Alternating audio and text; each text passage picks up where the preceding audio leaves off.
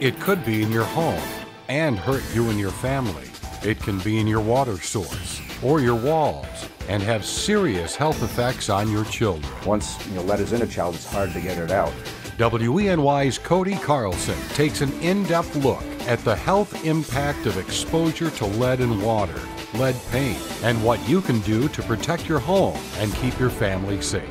Get the lead out tonight, only on WENY News.